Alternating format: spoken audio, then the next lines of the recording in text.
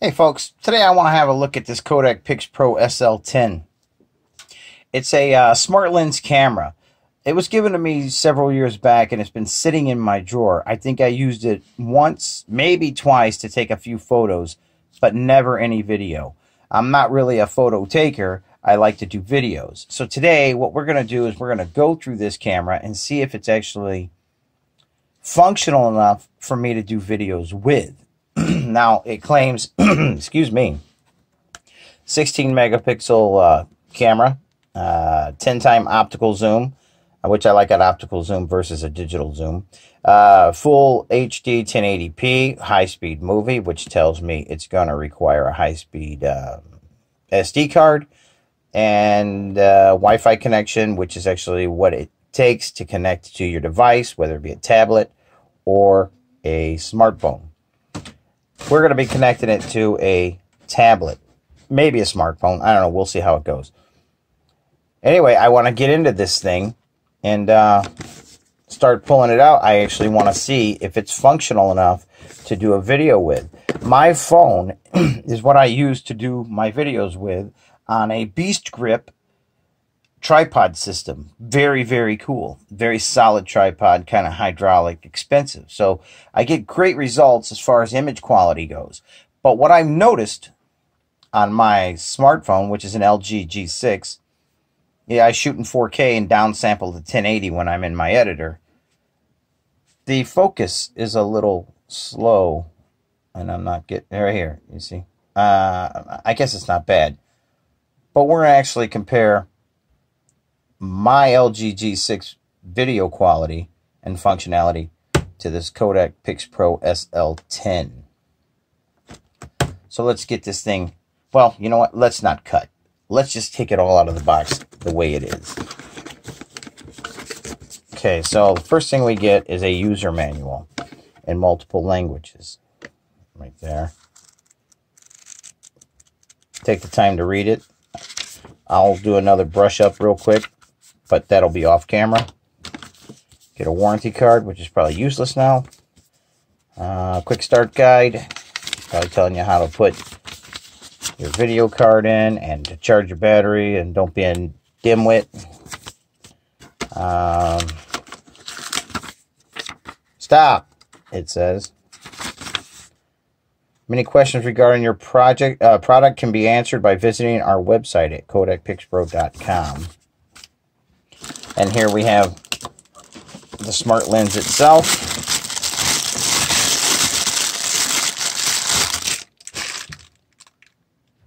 You see it's got a very nice design, very solid.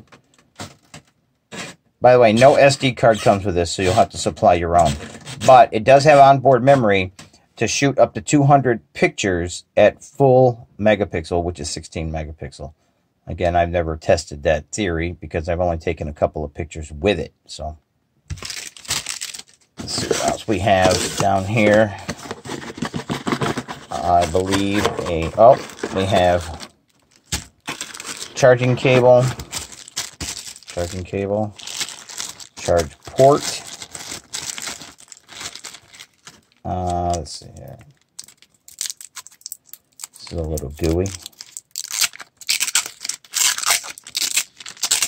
Oh, Pix Pro AC adapter. And we have,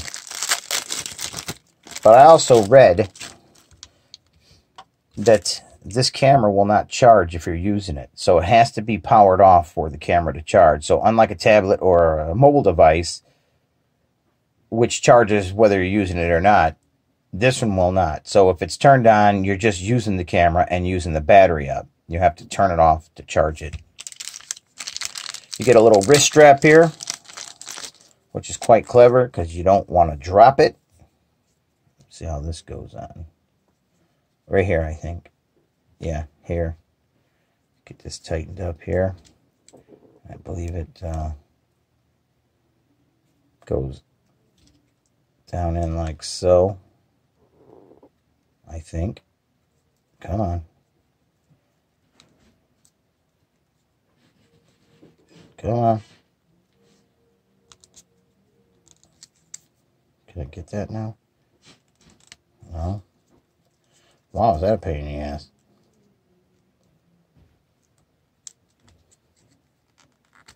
There we are.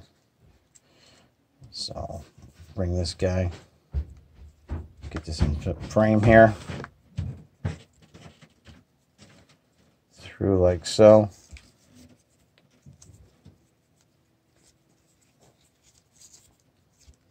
And tighten it up like that. Okay.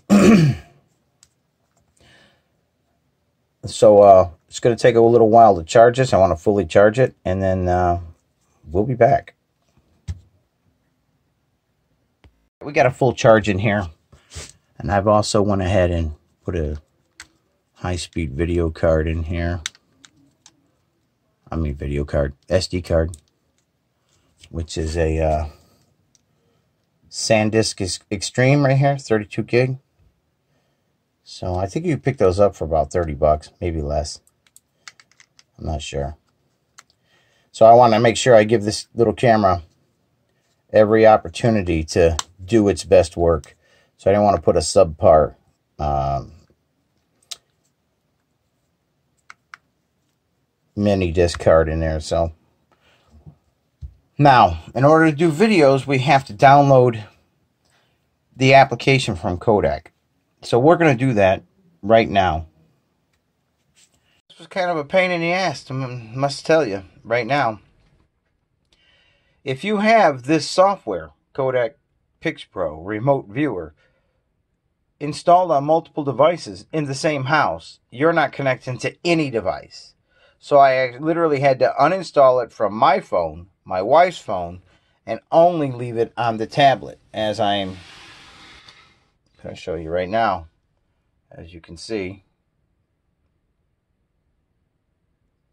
it's connected to the tablet. So before we start shooting any sample video, because, you know, again, this tablet has limitations as far as video playback.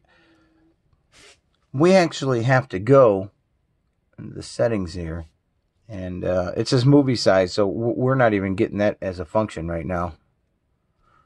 Let's see here. It says we can record like that but let's go stop this here. And now it says it recorded at 4.3 which is not what we want. We want to record in 16 full HD 16.9 at 30 frames per okay so that's what it says we're set at. So let's go have a look. It says we're set there now at 16.9. And uh, let's try our zoom here real quick.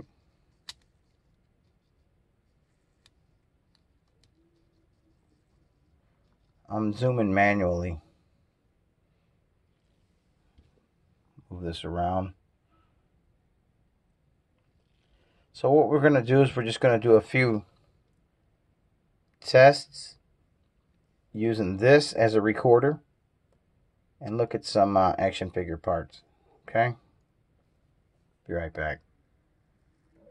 I basically, this is just to check our video quality. Uh, this is I'm shooting right now with a little Kodak Pix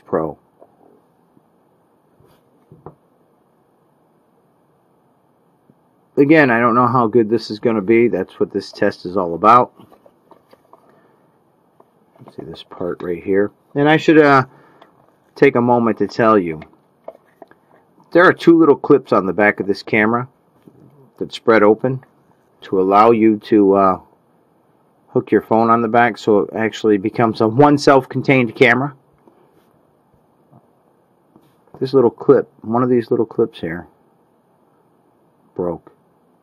I mean, we're talking about a piece that was opened once, twice to take a photo and put back in the box. And I went to put this on my phone and it snapped. This is real garbage. Real crap. So anyway, let's not cry over spilled milk, or in this case, broken clips. So basically, I'm just moving this around the same thing I would be doing if I was doing a figure review. That's all we're doing. We're just going to check the video quality. So yeah, in the next clip you see, I'll be back on my regular video device, which is my uh, smartphone.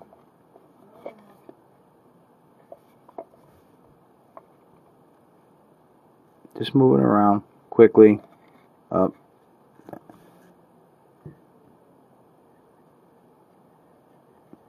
So yeah, the idea is to see if this is actually usable at all before I decide to just pitch it, give it to somebody or whatever. So, see in a couple minutes.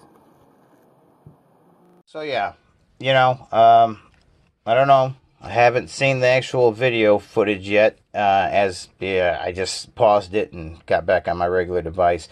Uh, I got it set on a little tripod. There's a little tripod uh, mount here built right into the camera, as you can see right there. And I'm going to show you where this clip broke right there. This little clip right here broke. See? supposed to flip up and they're supposed to spread apart, as you can see like so, to clip your phone in here.